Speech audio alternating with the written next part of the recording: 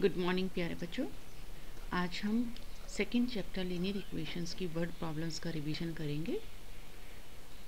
So this is the question sum of two numbers is 95 if one exceeds the other by 15 find the numbers अगर दो numbers का सम 95 है और उनमें से एक नंबर दूसरे से 15 बड़ा है तो बताइए कि नंबर्स क्या होंगे।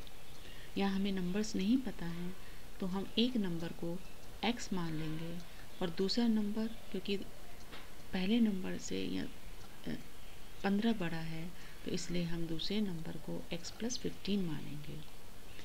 अब हमें ये गिवन है कि दोनों, इन दोनों नंबर्स का सम 95 है तो हम इक्वेशन बनाएँगे x plus x plus fifteen ये दोनों का सम हो गया, दोनों नंबर्स का इज़ मीन्स इक्वल टू 95 अब लाइक टर्म्स को ऐड करेंगे, x plus x two x हो गया plus fifteen equal to ninety five यहाँ फिफ्टीन को पहले ट्रांसपोज करेंगे क्योंकि हमें तो x फाइंड आउट करना है तो पहले हम 15 को राइट right साइड में ट्रांसपोज करेंगे। ये 15 ऐड हो रहा है तो राइट right साइड में जाके सब्ट्रैक्ट होगा। So we get 2x equal to 95 minus 15 that is 80 now we have to find x. so 2 is multiplying with x so when you transpose it on the right hand side it will go in division so we get x equal to 80 by 2 that is 40 now एक number 40 आ गया और दूसरा number x plus fifteen था इसलिए दूसरा number हो जाएगा हमारे पास 40 plus fifteen that is 55 next is The number of boys and girls in a class are in the ratio 7 ratio 5 एक क्लास में बॉयज़ और गर्ल्स का रेशो सेवन रेशो फाइव है. The number of boys is eight more than the number of girls boys की संख्या girls की संख्या से आठ ज़्यादा है. जैसे गर्ल्स अगर दस हैं तो boys ten plus eight eighteen हो जाएगा. What is the total class strength तो क्लास की टोटल स्ट्रेंथ क्या होगी? अब यहाँ क्योंकि बॉयज़ और गर्ल्स के हमें रेशो दिया है तो हम बॉयज़ को सेवन एक्स और गर्ल्स को फाइव एक्स मान सकते हैं।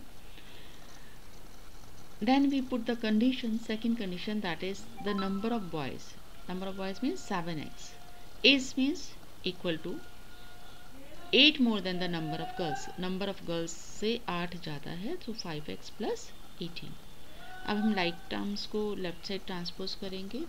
तो यहाँ पे फाइव एक्स को हम लेफ़्ट साइड में ट्रांसपोज करेंगे तो ये यहाँ ऐड हो रहा है तो इधर आके सब्ट्रैक्ट हो जाएगा so we get seven x minus five x equal eight so subtract करके टू एक्स मिला हमें। अब हमें एक्स निकालना है तो टू को ट्रांसपोज करेंगे राइट साइड में, ये डिवीज़न में जाएगा। So eight by two that is four so x four आया अभी। लेकिन हमारे बॉयज़ कितने थे? Seven x so seven into four that is twenty eight और गर्ल्स हमारी फाइव एक्स थी means five into four that is twenty अब हमें टोटल क्लास की स्ट्रेंथ निकालनी है तो बॉयज़ प्लस गर्ल्स करेंगे।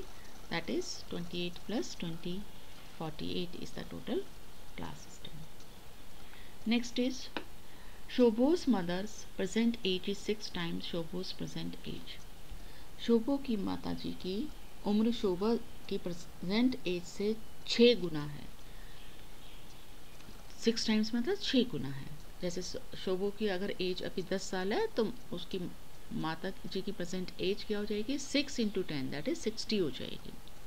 Shobho's age five years from now will be one third of his mother's present age अब से पाँच साल बाद शोभो की एज अपनी मदर की एज का वन थर्ड हो जाएगा। जो उसकी मदर की एज होगी, उस समय पाँच साल बाद उसकी वन थर्ड हो जाएगी। What are their present ages तो उन दोनों की अभी एज कितनी है?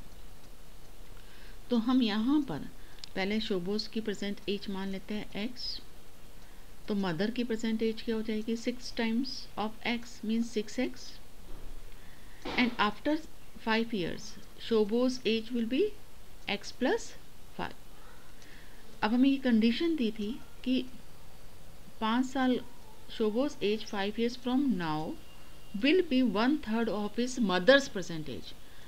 अभी उसकी मदर की जो प्रेजेंट एज है दैट इज़ सिक्स एक्स जो है, उसका one third will be the शोबोज age after five years शो इसके जो वन थर्ड होगा, वो शोभो की एज हो जाएगी, जो उसकी पाँच साल बाद एज आए so we put the condition x plus five equal पाँच साल बाद ये एक्स प्लस फाइव थी शोभो की एज इज़ मीन्स इक्वल क्या है?